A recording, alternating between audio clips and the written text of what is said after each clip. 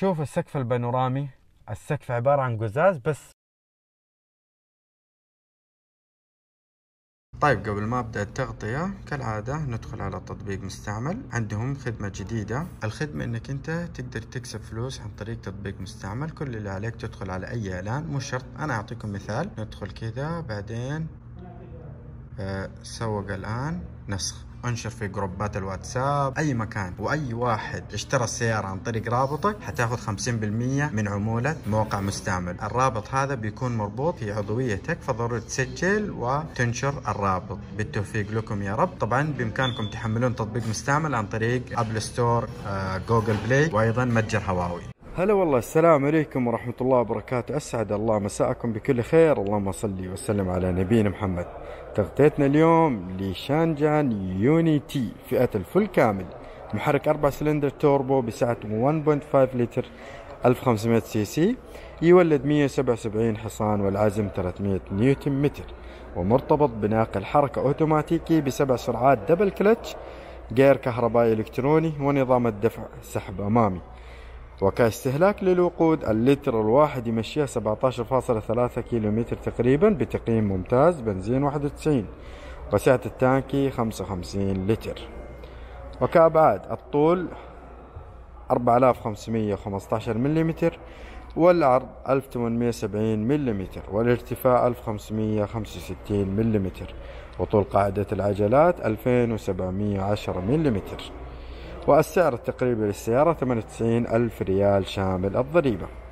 وبالنسبة للضمان ست سنوات أو 250 ألف كيلومتر أيهما أسبق بسم الله نبدأ من الواجهة الأمامية. لو نلاحظ هنا تصميم آه، الأنوار. أول شيء عندنا ال LED النهاري بالشكل هذا. بعدين عندنا لمسة كروم متصل بالرسمة هذه. والإضاءات الرئيسية هنا طبعا full LED العالي والواطي في نفس العدسة. السيارة هذه فيها حساسات جانبية فبالتالي السيارة فيها ميزة ال auto park. نفس الوقت عندنا حساسات جانبية وأمامية. آه التصميم هنا نفس التصميم الموجود في يوني K. اللي هو فكرة الشبك المدمج مع نفس الصدام. طبعا فيها كاميرا أمامية من أصل أربع كاميرات محيطية لتعطي رؤية 360 درجة وأيضا عندنا هنا في الأسفل الرادار. طيب لو نبتعد عن السيارة شوية حتتضح لنا الواجهة العملاقة ما شاء الله تبارك الله. طيب نجي الآن لجانب السيارة. زي ما قلت لكم عندنا الحساس الجانبي هذا لأن السيارة فيها الأوتو بارك. عندنا الجنط ما شاء الله تبارك الله جنط 20 هنا. مكحل تصميم جدا جميل. قياس الكفرات هنا شوفوا 245 في 45 طيب نجي للمراية الجانبية. عندنا آه، إشارات ال إي دي كاميرا جانبية من أصل أربع كاميرات محيطية لتعطي رؤية 360 درجة. وأيضا المرايات فيها النقط العمياء وأيضا في التسخين. بعدين عندنا المثلث هذا لرؤية أفضل. عندنا هنا في كاميرا لمراقبة المسار. بالنسبة لفتح الأبواب الأمامية بالشكل هذا بالشكل هذا.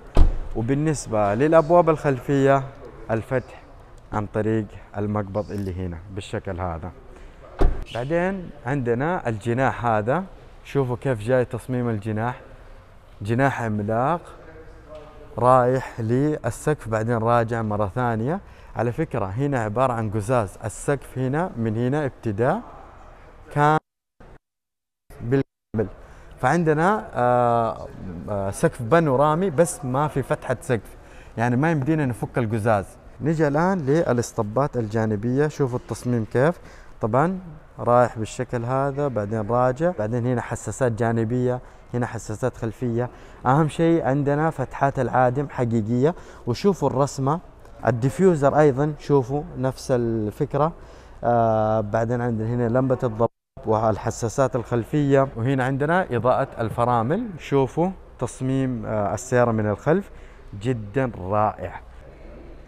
طيب الآن نفتح الشنطة. طبعا شنطة كهربائية.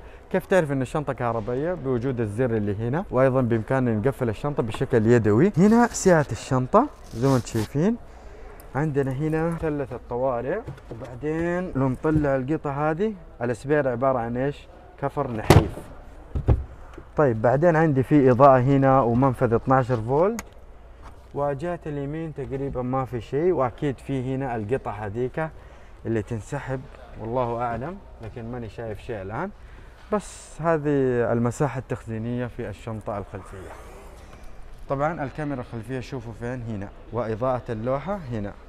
تانك البنزين. جهة اليسار وقلت لكم سعة التانكي في بداية التغطية. آه، صرفية الوقود اللي تروح يمشيها 17.3 كيلو متر الموديل هنا 2023 دفع أمامي آه، عكس يونيكي دفع رباعي. بعدين هنا عندنا 1.5 بنزين 91 طيب نجي الآن للباب الخلفي. عندنا هنا مواد ناعمة هنا جلود أيضا ناعمة.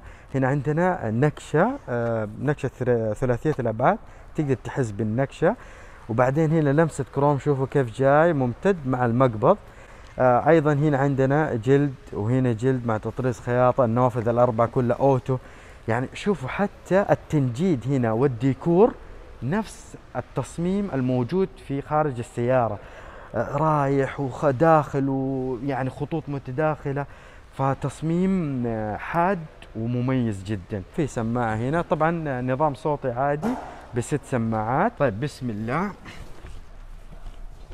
طيب كنعومة المقاعد هنا نفس النعومة الموجودة في يونيكي. بس كمساحات أكيد هنا أصغر شوية. المقعدة هذه مضبوطة على قياساتي فما عندي أي مشكلة. في قرابة شبر وبعدين هنا مواد ناعمة والجيب موجود. عندي هنا المسند الوسطي في حاملات الأكواب وأيضا آه، في مسند متحرك هنا للرأس.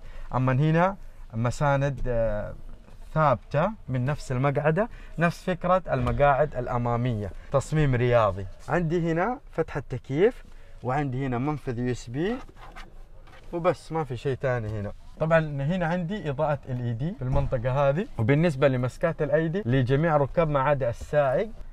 لو ناخذ نظرة على الشنطة شوفوا كيف. طبعا السيارة جاي بتصميم كوبيه ففي آه نزول في الخلف لكن كمساحة ابدا. ما في أي مضايقات بالعكس في مساحة كافية بين الرأس والسقف. شوف السقف البانورامي.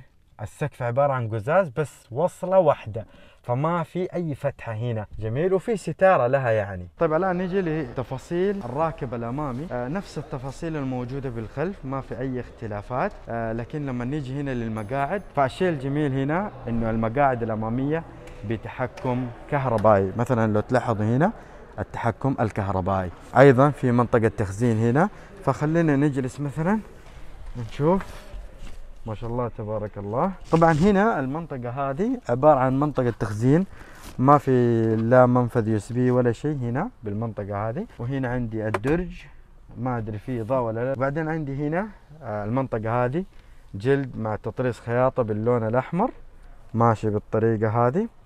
وهنا عندي النكشة هذه. شوفوا كيف. ماشية إلين آخر الطبلون. طبعا هنا آه، مواد ناعمة مع تطريز خياطة وهنا برضو نفس الفكرة. هنا تقريبا آه، سماعة والله أعلم. هنا في في الجانب برضو سماعة. هنا زر الستارة وهنا الإضاءات. آه، المراية تعتيم يدوي. طيب بالنسبة للشاشة الوسطية وشاشة العدادات كل واحدة فيهم 10.3 إنش تدعم اللمس Apple CarPlay وخرائط وإلى آخره. وبعدين هنا التحكمات الخاصة بالتكييف مع الشاشة. التكييف هنا فيه شاشة وأتوقع تدعم اللمس. آه بعدين هنا آه منفذ USB وهنا منطقة تخزين. طبعا هنا ال gear شوفوا كيف تصميم ال gear مع تصميم الديكور. سبع سرعات سحب أمامي double clutch هنا حفظ آه، المقطع أتوقع وهنا ال auto park وهنا آه، رؤية 360 درجة. بعدين عندي هنا آه، في زيت تخشيب. هنا المنطقة هذه بشكل كامل وهنا لمسة كروم ماشي بالشكل هذا شكل جمالي ولا أروع. وهنا شوفوا المسند الوسطي جلود ناعمة مع تطريز خياطة باللون الأحمر. بعدين نفتح. ما في أي ضغط بس في هنا زي المغناطيس. فمجرد ما تقفل كذا طق. كذا تفتح. هنا الدرج في اللي هو توصيلة التكييف. فبالتالي تستفيد الدرج هذا كثلاجة. تجي تحط مرطبات والمياه وإلى آخره. بعدين عندي هنا حاملات الأكواب في المنطقة هذه.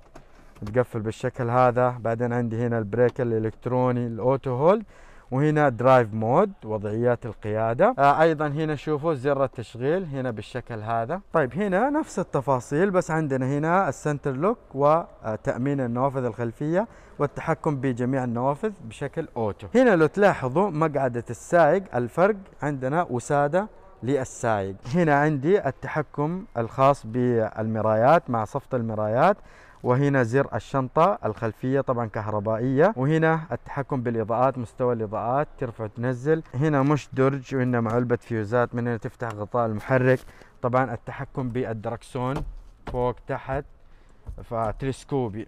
خلف الدركسون عندنا التحكم بالإضاءات وفيها ميزة ال auto. وأيضا جهة اليمين عندنا التحكم بالمساحات وفيها ميزة ال auto. الدركسون تصميمه كذا من هنا مشطوف. ومع التصميم باللون الفضي هنا مع شعار يونيتي آه طبعا البوري أتوقع حيكون قوي. آه طبعا الدركسون ملبس بالجلد هنا جلد منقط وهنا سادة مع تطريز خياطة تقليدية. هنا جهة اليمين آه، التحكمات الخاصة بالوسائط والصفحات الموجودة هنا. أما جهة اليسار آه، التحكمات الخاصة بمثبت السرعة القيادة الشبه ذاتية آه، الرادار وزر المفضلة وإلى آخره. كذا تقريبا خلصت من تغطية هذه السيارة. أتمنى التغطية نالت على إعجابكم إن شاء الله لو أخذناها تست درايف حنصورها لكم كتجربة قيادة. كان معكم أبو نهال وفي أمان الله.